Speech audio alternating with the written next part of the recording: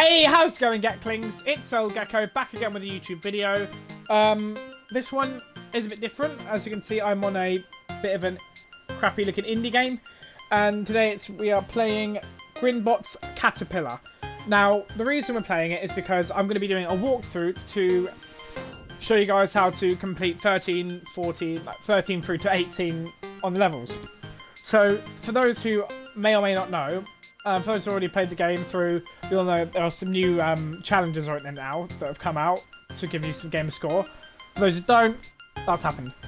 So, each each achievement that gives you 200 game score each, which is all rare achievements as well. So, you know, that's super rare achievements. So that's really good. So we'll start with 13. So, pretty self-explanatory. Same as everyone else. But what we want to do is, so first we'll start with grabbing the things here. Now, in the order that I'm doing it here, doesn't matter what order you do it, just make sure you grab these first. And then you want to wait on this corner here. Wait for the teleporter to um, extend, so then you can bounce yourself over here. And then you climb up the side here. This wall here, there we go. Grab that flower. And then this bit is going to be a bit frustrating if you don't know what you're doing. There. So, you want to do that. Bounce on each of these bees. Okay. Now, we want to wait here while these while the um, bees go to the other side. I think that was good. Leave it to about five or six bees to go. Then you come up here, and then boom, level 13 complete. Now this one is a bit more complicated, but when you know what to do, like when you got the hang of it, you're fine.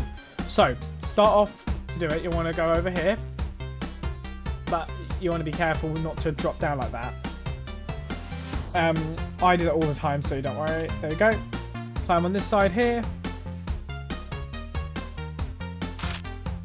No. And you want to drop down here. Don't let the bees um, die, because they're going to help you get to the flower at the top there. Right, so go back over here. One, two, three. Up you go. Flower. Flower. And there we go. That's level 14 complete. Now, level 15 took me a bloody long time to work out. Because it looks pretty difficult, but I worked out how to do it finally. Um, so, collect that flower first. Bounce on that bee and then it gets rid of it. Want to then come this way. Grab that one. Now leave that flower down there. Leave that flower there. Climb this side here. Bounce. And then go back to the flower that you've left. Because then, boom, that will then open them. So you get, get yourself through them. Boom, boom, boom. Um, down you go. That's level 15 complete. Now this one, again, pretty difficult. So what you want to do here is you want to bounce on three of these bees. So like that, that, boom, done. But you want to leave the last one because we're going to use that to get to the to get to the finish. So want to first of all go this way, collect that. It makes sense when you know what I'm doing. Pick that one up. Boom. Boom. Bounce. There we go. That's level 16 complete. Now this is the last level. Pretty difficult this one. When you don't know what you're doing, it's very difficult. It took me several tries. So, what you want to do, you want to slightly down. Okay. So you want to do is you want to do this, where you go down a little bit like that, without hurting that bee. Right? So you want to keep all three of those bees alive and collect these flowers. Once you've done those ones there, you then want to go back, like so.